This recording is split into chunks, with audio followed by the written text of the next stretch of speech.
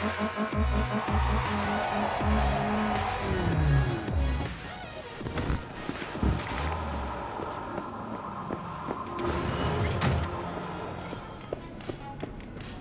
sir.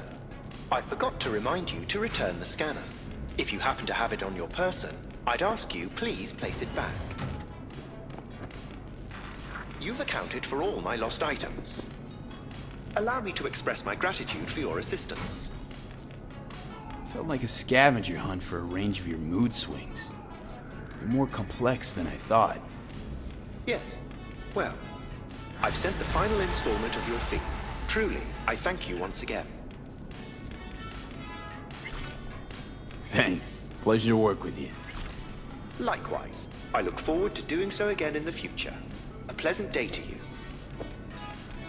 What's it like for an AI in a world that runs on gray matter? Nothing extraordinary.